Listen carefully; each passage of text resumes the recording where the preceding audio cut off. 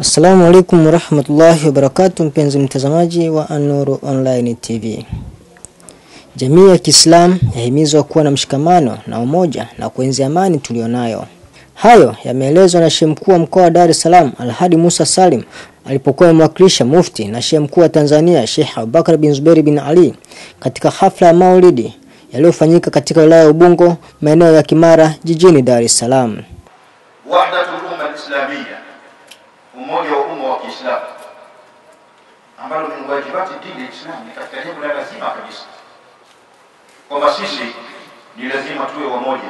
inna hadhihi ummatukum ummatan wahidatan wa ana rabbukum fa'budun, umma mmoja tu na mimi ndiye mola wenu niabuduni.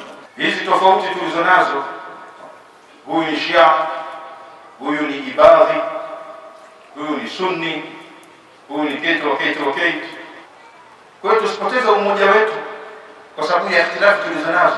Ndipo wanazuoni wakasema ittifaquhum hujjatun lana wa ikhtilafuhu rahmatun wasi'a. Ittifaquhum hujjatun lana, kukubaliana kwao wanazuoni katika jambo ni hoja kwetu. Wa ikhtilafuhum rahmatun wasi'a, na kule kukhtalifiana kwao ni rahma iliyokunjuka, ili kila mumin awe huru katika hili, wewe utamfuata huyu katika lile utamfuata yule. Namna hiyo mnakhtalifiana, na kuna mambo ambayo wamekubaliana kwa pamoja, kimsingi hayafai, hayafai.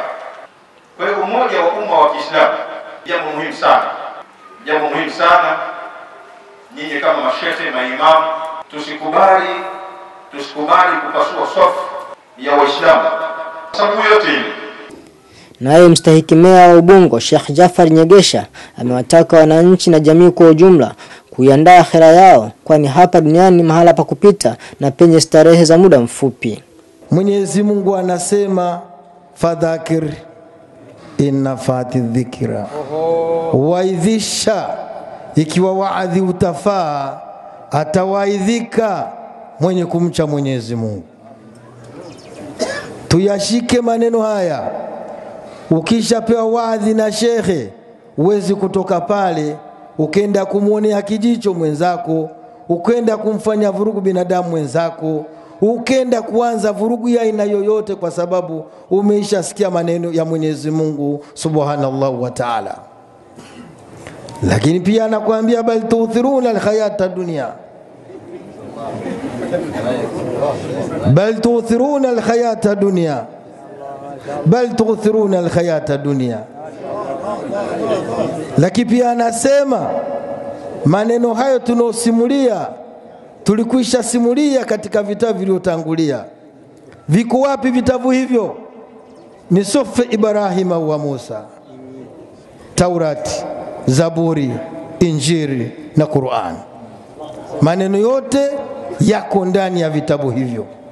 Kwa hiyo kabla hujawa wewe, wamekuwepo watu wa, wamekuwepo watu wakizungumza maneno ya Mwenyezi Mungu subhanallahu wa taala. Lakini la mwisho namaliza kwa kusema linamgusa yoyote awaye binadamu hapa duniani, bal tuthiruna alhayata dunia.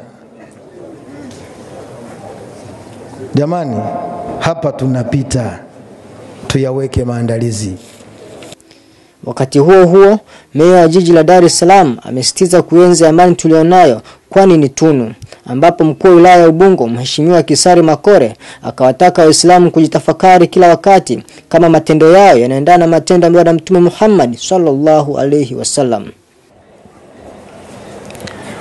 Ni maeneo ambayo yana nyumba ya kuabudu kwa maana ya masjid lakini ni maeneo ambayo yanazalisha wana wazuoni. Ndugu zangu, kazi inayofanyika hapa ni kazi kubwa sana. Tuwapongeze kwa kazi kubwa wanayoifanya ya kuzalisha wana wazuoni. Na ndugu zangu, utulivu tulio nao, amani tulio nayo haiwezi kudumu kama hatukuwa na wana wazuoni.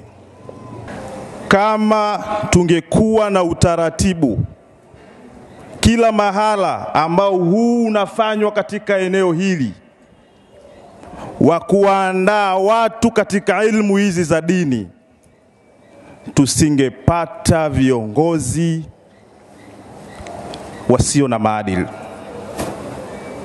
tusingepata madaktari wasio na maadili kwenye majukumu yao, kwa sababu wangekuwa wameshaandaliwa katika hofu ya Mungu. Uh, tunaposoma eh, maulidi ya Mtume Muhammad, tujitafakari sisi nafsi zetu, tujiridhishe kwamba je, maisha tunayoishi yanaakisi mafundisho ya Mtume Muhammad? Sio? E, tunaposhiriki hadhara hii ya leo ya kisomo cha maulidi ya Mtume Muhammad, kila mtu kwa nafsi yake ajitafakari na kuona kwamba je, mimi maisha ninayoishi je, yanaakisi yale mafundisho ya Mtume Muhammad?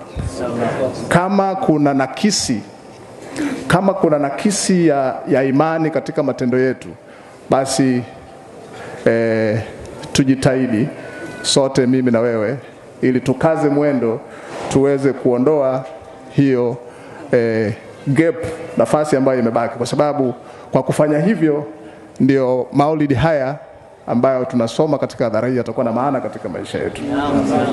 Kwa hilo ni jambo la msingi ambalo mimi ndio ujumbe wangu muhimu kwa leo.